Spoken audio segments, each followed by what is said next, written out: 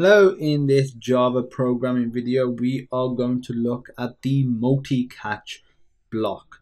So the multi-catch block is very similar to what we've covered in the simple example video in exceptions. If you haven't checked that out, feel free to take a look at that tutorial.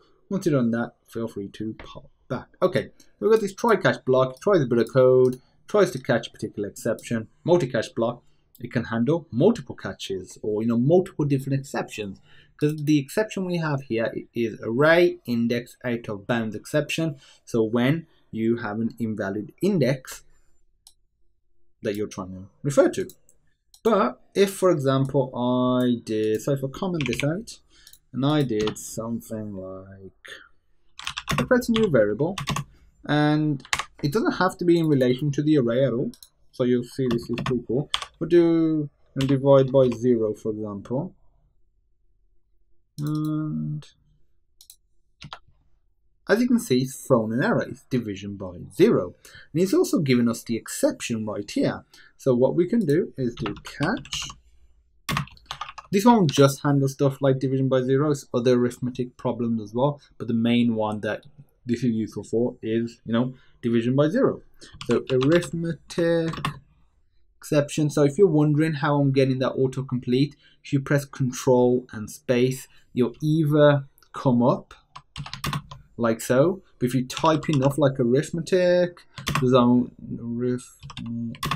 the one anyway. So, that, so that's how I'm doing if you was wondering.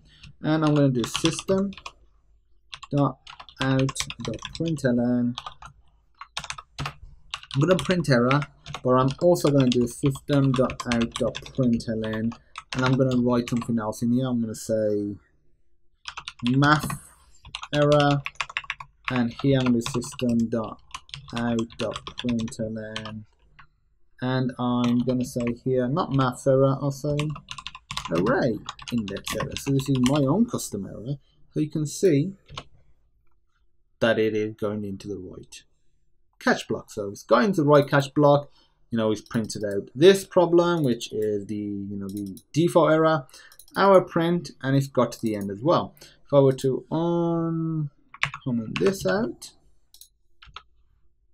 it prints out array index error because it's out of bounds. So that's something to bear in mind. So if it hits a, a problem, uh, an error, it'll go to that catch block and it won't run the rest of the code in the try block. So the assumption is the rest of the code should be dependent on you know the previous lines of code in the try block, and therefore if something goes wrong with one of those lines, and you catch the exception and handle it accordingly, you shouldn't run the rest of the code, or you handle it and run it maybe within the catch block. But that's it for multiple catch blocks. If you want to add more, the process is exactly the same. Thanks for watching. All of the code from this video and all of the other videos in this series will be on GitHub and a link to that will be with this tutorial. If you have any questions, feel free to reach out and I look forward to seeing you in the next awesome Java video.